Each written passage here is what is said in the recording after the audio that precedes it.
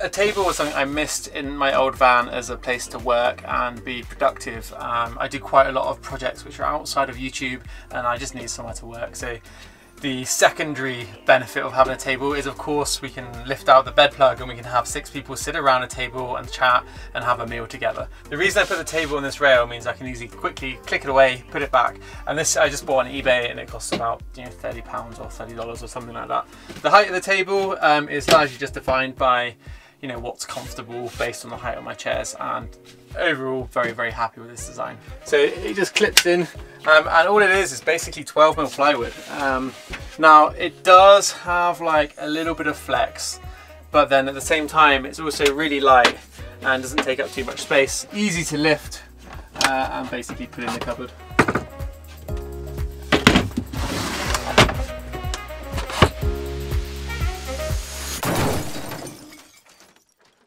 a big king size bed that was fixed um, was really important. And so what I did when I was building it in terms of the height, I know people will like want to have bikes and stuff under there, but I kind of built it a lot off the seating and the table, which pulls out from underneath. So that comes out, I need to finish this a little bit, but the uh, table like sits perfectly when you pull it out against your legs. Uh, and it's and it's a nice way of having a good table that comes out all the way. In terms of fully, fully out, you, you've got to just watch your legs because there's a little bar that comes down and it'll come out all the way to there. And then there's some bolts here that you can just lock shut um, and you know you can get three people here having dinner, playing games, whatever. So that goes back in um, and then for driving, just having a bolt that goes across it. I mean, or you could put something on the front just to stop it coming out. This is our table for dinner. You have everything you need. And in the evening, I'll show you, you can move things. And while you relax, you can use a smaller table just for your computer, glass of glasses, bottle of wines. And then when you're ready for bed, you just lock everything. Our friend um, Tom Harper, who makes all our leather stuff, he made these little straps for us. So leg just sits there and then it comes down, goes into there, and then this just comes off the wall. And voila, you've got like quite a yeah, fairly sturdy table. And for two of us sat here, it works, works really well. But to be honest, actually, we like, a lot of the time you don't even bother getting the table out, you kind of just eat, eat here on your plates. But yeah, it goes away really quickly too. And actually, it stays up here um, quite well. It just wedges on that little bit of wedged wood there. The two tables are in here. They join up to make one big table. And the reason we did it this way, because in Scotland it rains a lot, so you would eat with the door closed. So one of them slots in on the door. And then if you wanted to eat with the doors open on a nice day like today, one of the tables will slot in here and comes to about here. And the tabletop was made of one big piece of larch cut in two, so you can actually have the two tables joined together as one big table if you had a little dinner party in the van or something like that. So this table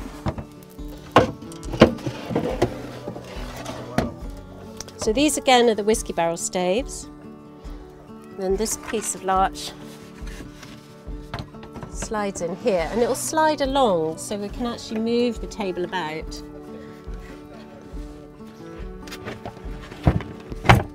And that slots in there. We do have another stave to stabilise it on the bottom, but I'll not get that bit out at the moment.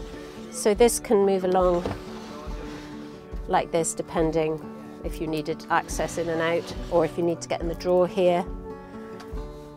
So that's, that's the sort of table you would use if you wanted to eat with the door open. So this is the table we would use um, if it's raining. Slot it on through here. And then another whiskey barrel stave that just sits under there. slots there. So we would just sit, have a nice cup of tea, looking out the window at the beautiful scenery. So we use the leftovers of the countertop to make this pull-out table right here. And it's pretty handy for us. We use it as an extra space for our countertop when we're cooking or for working on the computer or to eat. Also we put the computer here to watch movies. It's just like a nice little feature, you know.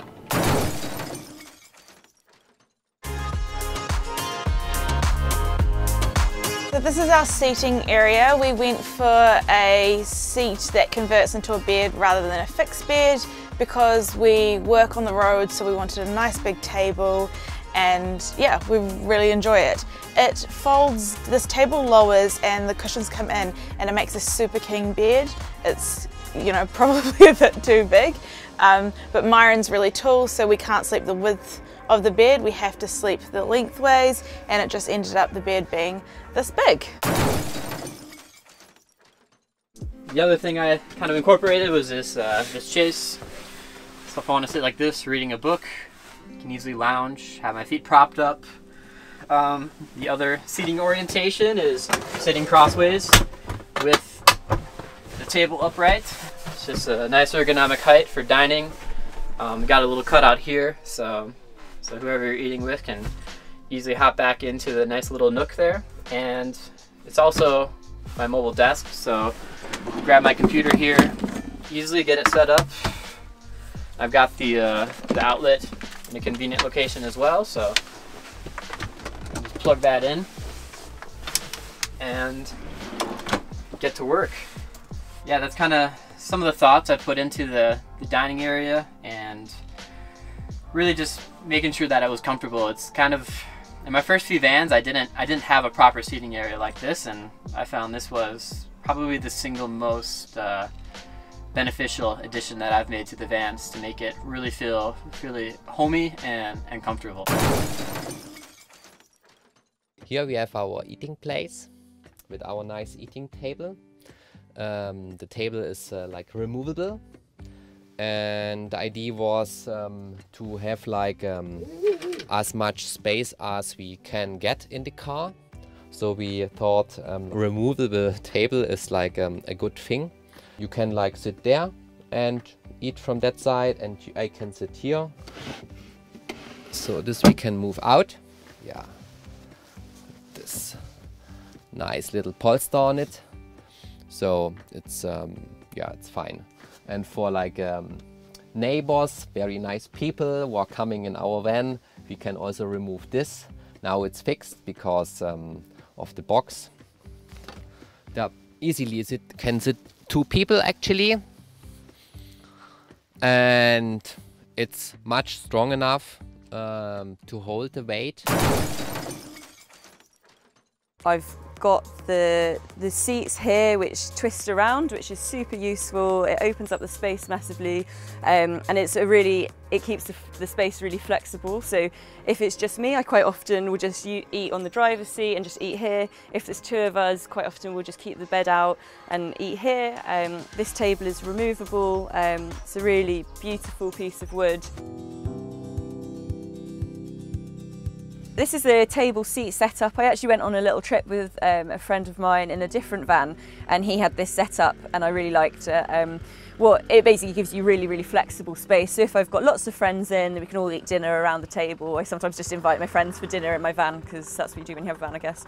Um, you, the table legs are just removable. You just pull the table off, uh, move the legs away, and then this drops down. And then there are two rails that sit on the fronts of the seats here, and it just sits on there. Um, the table is a little bit shorter, so I've also got a, a couple of extra slats of wood that just fill up the end. These mattresses are then double layered. Um, this is my lovely African fabric that I brought back from Tanzania. Um, I then pick up one of the mattresses, put it underneath, or it can turn into a single bed if I've got a third person sleeping, and then the other mattress sits in the middle. Uh, and then I've got all my bedding kept just stored away at the top of the cab there. I hope you enjoyed that content. Um, if you hadn't noticed, we do have an ebook that we sell, uh, and the link is just in the description. Uh, it contains 160 pages crammed full of practical advice, walkthrough information, electronic schematics, and part lists, which will make your job a lot easier for doing a van conversion and it will save you time and money. Also, we've created special videos for the ebook which enable you to see walkthroughs for how to do loads of things in a van conversion. So that's for water systems, for your electrics, for how to do simple woodwork joints that anyone can do. I really believe that anyone, regardless of their experience, can make a half decent van conversion. Thanks for watching. We really appreciate you watching our content and we put a lot of effort to make it interesting, informative and find those cool projects to feature on our channel. Consider subscribing, leave a comment and we'll see you next week.